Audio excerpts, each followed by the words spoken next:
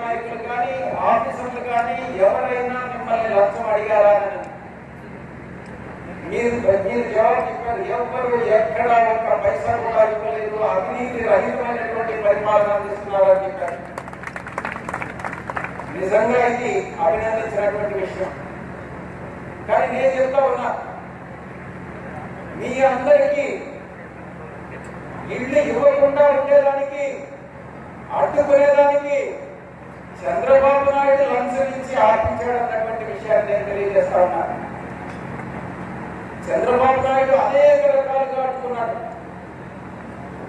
ఈ విశాఖపట్నంలోనే విశాఖపట్నం టౌన్లోనే లక్ష ఎనభై వేల ప్లాట్లని ఇవ్వకుండా అడ్డుకున్నటువంటి వ్యక్తి చంద్రబాబు నాయుడు. తను తను చేయాల్సిన ప్రయత్నాలన్నీ కూడా చేశాడు. వ్యవస్థల్ని కూడా నాశనం చేశాడు. పేదలకు బడుగు వర్గాలకు ఎలాగైనా ప్లాట్లు ఇవ్వనీయకుండా అన్ని రకాలుగా అడ్డుపడ్డాడు. అయినప్పటికీ కూడా అన్ని అన్ని అన్ని సమస్యలను దాటుకుంటూ ముందుకెళ్ళి ఈ రోజు ఈ యొక్క పథకాన్ని విజయవంతంగా అమలు చేస్తున్నటువంటి ఆ మన ముఖ్యమంత్రి జగన్మోహన్ రెడ్డి గారికి మనం మరొకసారి మనం ధన్యవాదాలు ముఖ్యంగా మీ నియోజకవర్గంలో లాలు మాస్టర్ అనేటువంటి చాలా భూకుంభకోణాలకు పాల్పడ్డాడు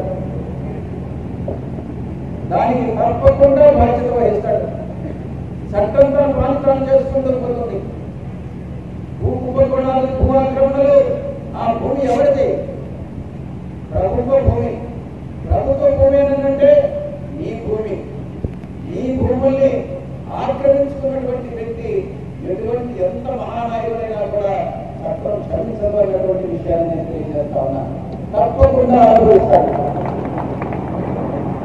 ఆయనకు గంటా శ్రీనివాసరావు సహకారంతో చేస్తా ఉన్నాడు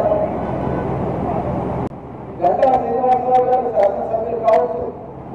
అయినప్పటికీ కూడా ఆయనతో పాటు లాలా భాస్కరరావు గారు కూడా భూ ఆక్రమణకు పాల్పడతా ఉన్నారు.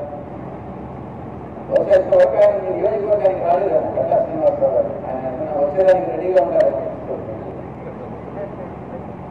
అటువంటి వ్యక్తుల్ని ఎప్పుడు కూడా సమాజం క్షమించదు ప్రజలు క్షమించదు కాబట్టి మీరందరూ కూడా ఎవరైతే మీకు మంచి పరిపాలన అందిస్తున్నారో మీకు ఒక మంచి ప్రజాప్రతినిధిగా మీకు కనపడకాదున్న మీకు ప్రతినిధిగా మీ యొక్క వాణిని అసెంబ్లీలో వినిపిస్తా ఉన్నారు.